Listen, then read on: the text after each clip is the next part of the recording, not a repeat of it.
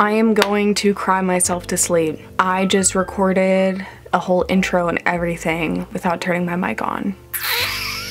Anyways, hello everybody. My name is Maddie and welcome back to my channel. But if you're new, welcome to my channel. Um, before we get into everything, first make sure to like, comment, subscribe, and turn on that bell. Follow all of my social media, and check out my merch. I will put it in the description down below. Guys, today we are just changing my whole YouTube name. Sorry, no longer Modified Makeup by Mad. I hate to do it to you. It's now Modified Crafts by Mad. We're getting a little crafty. We're getting a little crazy here today. So I want to put my wisdom teeth that I just got pulled out a week ago into tunnels and wear them as jewelry because that's just what we're gonna do. Um, I got this idea from a person I saw on Reddit. Um, their name is Zin Zingia or Zengia, one of the two. I'll put a picture of what they did right here. It looked super pretty and cool and I was like, I just wanna do that. So giving full credit to them, I'm gonna be doing their method of how they did it. I'll explain it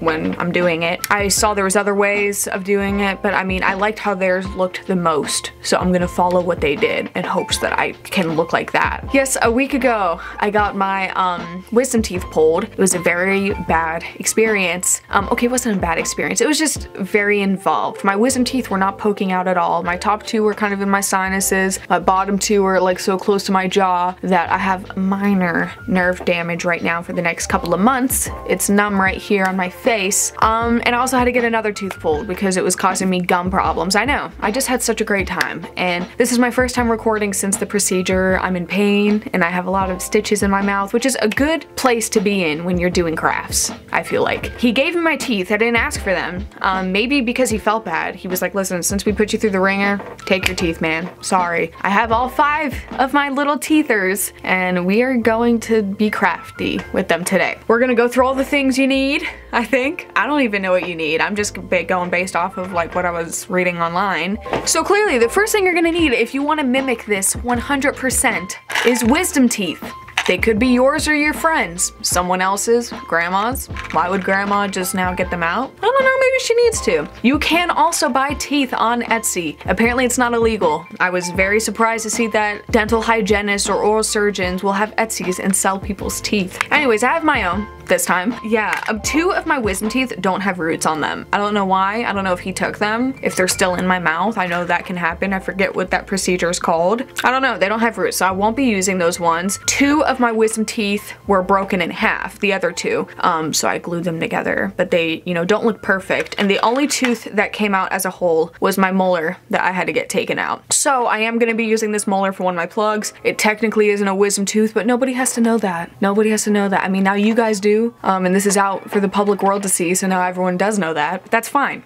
I don't care. Um, so what I did to prepare my teeth, because he just kind of threw them in a bag and they were a little gross looking, um, I first rinsed them with soapy water to get dry blood off, and then I got a Q-tip with rubbing alcohol and got like the hard shit off it. I don't know, like hard, hard to get places off. And then I let them soak in a cup like this with like a little bit of water and bleach for like two minutes. You can't do it for too long or else your teeth will get brittle and break, I guess. I don't know, that's what I read online. So I only did for two minutes, which I think is enough time to make sure these are completely clean. They still look a little gross, um, but they're teeth so they are always gonna look a little bit gross, um, but they are 100% clean. Um, yeah, I'm gonna only be using two of these teeth. I have three left over, so, you know, comment down below what to do with my other three teeth. You know, maybe I can make like, you know, a little necklace or something. A little necklace moment. And then the other things I have is some little stinky resin. I just got this at Michael's today. Um, I don't know if it's a good brand or not. I just was like, I need resin, and I don't need this much, but this was the smallest box and it was $25. Um, but it's called Amazing Clear Cast Two-Part Clear Coating and Casting Resin. Um, so pretty much it's like what you have to do with most resins. You measure equal amounts, mix thoroughly, and pour slowly. Easy, right? I'm sure it's easy. I have nothing to worry about. Um, so yeah, that's what I'm using today. I already looked inside the box and it comes with wooden sticks, little measuring cups, and obviously the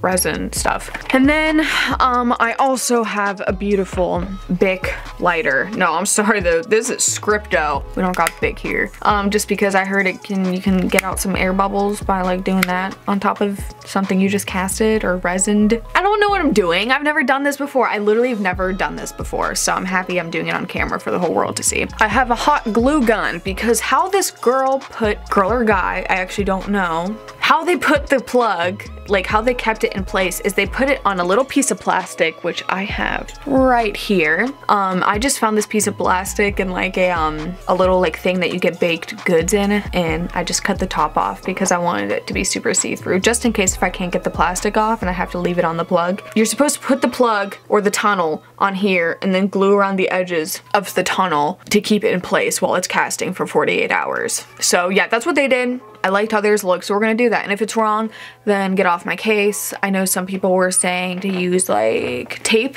but I'm not gonna do that. Another thing you're gonna need is some tunnels. I am using gold ones, and the reason why is because my teeth have a little bit of yellow in them, so I thought the gold would really bring out the yellow in it. These are just from Body Art Form 7 A7 inch tunnels. I know that was really gross what I just said with the yellow in the teeth, but I mean, dude, they were inside my skull. I can't brush them. Okay, sorry. I cleaned them all thoroughly. I cleaned um, the plastic, this, and my teeth to make sure there's no smudges or anything inside of my art piece that I'm creating. And then the final thing I have is just a little piece of Tupperware to cover it to prevent dust from getting on top of it while it's setting. So that's it. That's everything I have. Um, let's hope I don't miserably fail. I'm, I'm gonna turn the camera around so you guys can see my table and we're gonna do this together as a family and it's gonna be be fun and it's gonna look great. Let's go.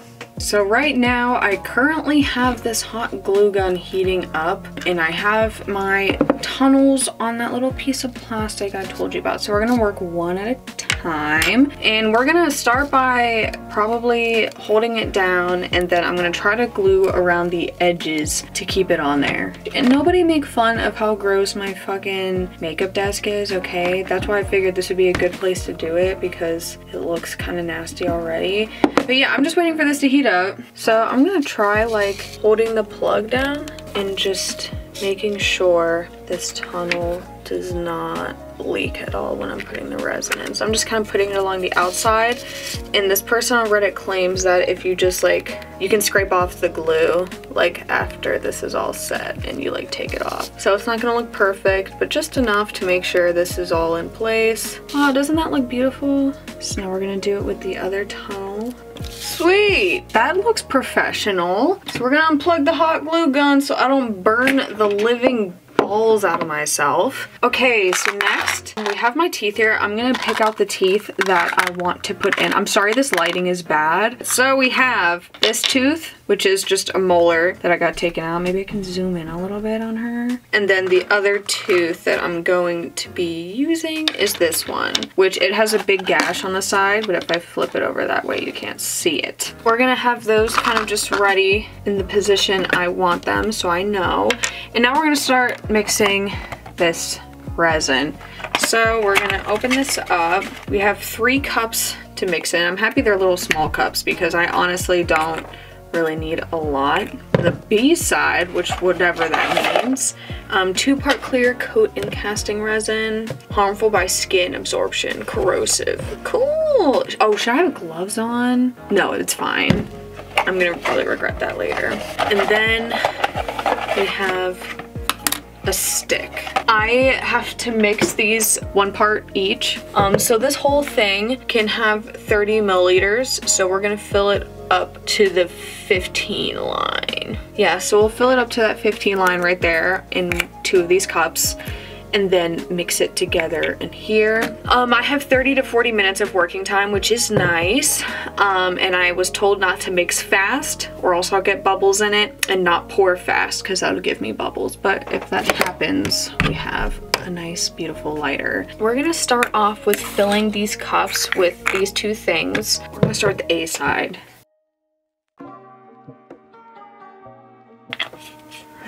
There's that one filled up to the 15 mark. And then we're to do this one. Okay, Sweet. Okay, so, I mean, I'm just gonna pour this other one in here. Hopefully that's not terribly wrong. And then start mixing it.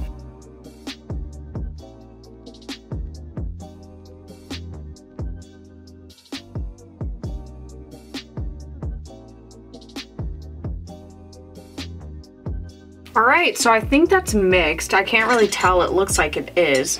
So now we are going to first, I think my best course of action would to be putting a little bit down inside the plug first, just so the um, teeth have like a base to go down on. So like there's no like air bubbles under the tooth, you know? All right, and there's a little bit of air bubbles in there. Okay, so now we're gonna put my teeth down exactly how I want them to look. So this one is gonna go down that way. So we're just gonna drop it in there. I'm gonna take some tweezers actually and make sure it's on there in a position I'm happy with. And then we're gonna do the same thing with this tooth. And now we're gonna start pouring this slowly on top.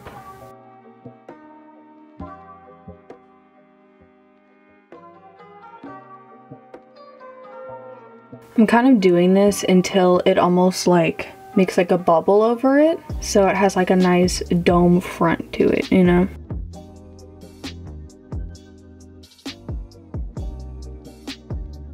Okay, and put the remaining resin over there using the lighter to get some bubbles out. Guys, this looks so good. I'm so excited. So I'm gonna keep hitting with this to get the bubbles out. And then I have to let this sit for 48 hours. Here's a closer look at it so you guys can see. Isn't that pretty? But we'll see what it, the finished product looks like. I'm gonna put this over it because I heard that sometimes dust will get on it while it's sitting and we don't want that. So we're gonna let it sit. Okay, bye guys. Hello everybody. Um, it is actually 24 hours later and something terrible happened. Um, I absolutely outdid myself. Dude, I am so excited.